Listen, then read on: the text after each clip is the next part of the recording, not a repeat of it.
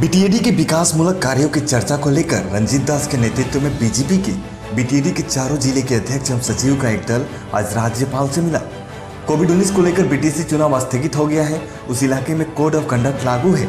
आज दोपहर को 12 बजे असम बीजेपी अध्यक्ष रंजीत दास, साधारण सचिव एवं मंगलदोई समष्टि के सांसद दिलीप सैकिया बीटीएडी के चारों ज़िले के बीजेपी अध्यक्ष एवं सचिव का एक दल, असम के राज्यपाल प्रोफेसर जगदीश मुखी से मुलाकात किया और बीटीएडी के कई पहलुओं पर चर्चा किया गया बीजेपी कोकराझार जिला अध्यक्ष विभूति बरगोई ने इसकी जानकारी दी।